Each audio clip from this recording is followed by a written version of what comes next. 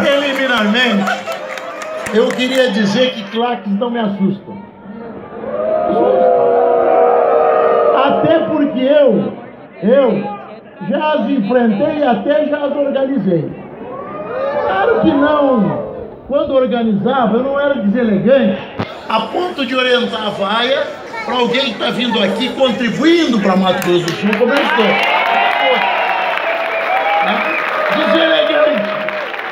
Mal educado, mesmo quando eu eu nunca fui. Então, vou tocar em frente, vou fazer o meu discurso e enquanto os cães ladram, a caravana passa.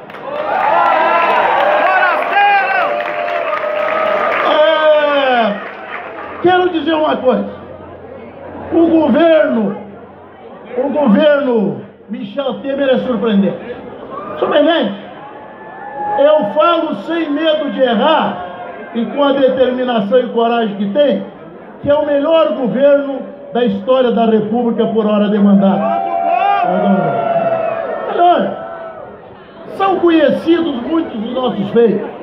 Recebemos um país em meio à maior crise econômica da história, desemprego brutal, recessão, é, inflação de dois dígitos, juro de 14%, e as medidas, as medidas mais conhecidas são aquelas que permitiram com que hoje, permitiram com que hoje o país volte a crescer, tenha uma inflação historicamente baixa, juro de 6,5%, e fizeram com que, em fevereiro, é, prefeito Marcos Trás, nós teremos gerado o maior número de empregos da, historicamente no mês de fevereiro. Nunca se gerou tanto emprego no Brasil no mês de fevereiro quanto Só no mês de fevereiro. Brasília!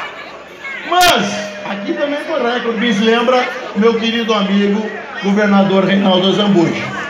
Mas, não são só essas as nossas atitudes, senador Pedro Chay essas na área econômica que tem maior, uh, não diria visibilidade, maior divulgação pela imprensa. Quer ver uma, uma medida que eu estava, agora na vinda, quando eu vinha para cá com o ministro Barros, quando o presidente Temer assumiu, ele fez um decreto singelo.